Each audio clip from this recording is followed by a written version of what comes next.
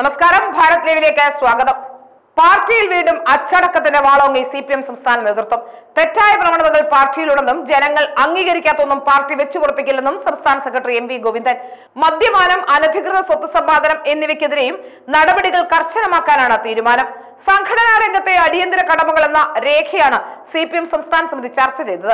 സമൂഹത്തിലെ അപജയം പാർട്ടിയെയും ബാധിക്കുന്നുവെന്ന് വീണ്ടും സി പി എം വിലയിരുത്തുന്നു. ലഹരി വിരുദ്ധ ക്യാമ്പയിനിൽ പങ്കെടുത്തു മടങ്ങിയ എസ് എഫ് ഐ നേതാവിന്റെ മദ്യപാനവും യൂണിവേഴ്സിറ്റി കോളേജിലെ ലഹരി ഉപയോഗം സംബന്ധിച്ച പരാതികളും വാർത്തയായ പശ്ചാത്തലത്തിൽ കൂടിയാണ് സി നടപടി.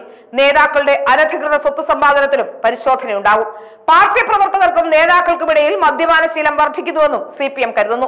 താഴെ തട്ടിലെ പ്രവർത്തകർ പോലും അനർഹമായി വലിയ രീതിയിൽ സ്വത്ത് സമ്പാദിക്കുന്നതായ പരാതികളും നേതൃത്വത്തിന് ലഭിച്ചിട്ടുണ്ട്.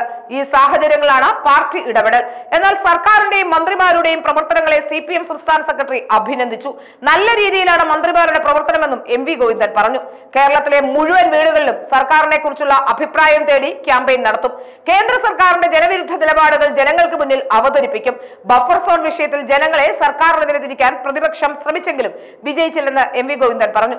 ബഫർ സോൺ വിഷയത്തിൽ സർക്കാരിന് തെറ്റുപറ്റിയിട്ടില്ലെന്നും അദ്ദേഹം വാർത്താ സമ്മേളനത്തിൽ വ്യക്തമാക്കുന്നു.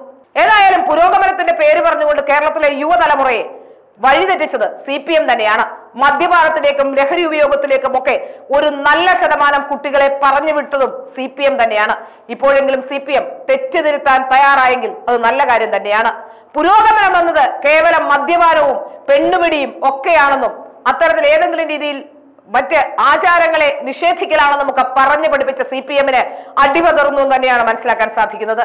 മാന്യമായി ജീവിച്ചുകൊണ്ടിരുന്ന ഒരു ജനവിഭാഗത്തെ പുരോഗമനത്തിന്റെ പേര് പറഞ്ഞുകൊണ്ട് മദ്യപാനത്തിലേക്കും മയക്കുമരുന്നിലേക്കും ഒക്കെ തള്ളിവിട്ടത് ഇത്തരത്തിലുള്ള ചില സംഘടനകളുടെ പങ്ക് അതിൽ നിന്നും ഒഴിയാൻ കഴിയില്ല. അതുകൊണ്ട് തന്നെ അത്തരത്തിലുള്ള തെറ്റുതിരുത്തൽ നടപടി എടുത്താൽ അത് വളരെ നല്ല കാര്യം തന്നെയാണ് കേരളത്തിലെ പല വീടുകളിലും സമാധാനം പുലരാനുള്ള ശ്രമങ്ങൾക്ക് പോലും സി ഇപ്പോൾ നന്ദി കുറിക്കുന്നുവെന്നാണ് മനസ്സിലാക്കാൻ സാധിക്കുന്നത്.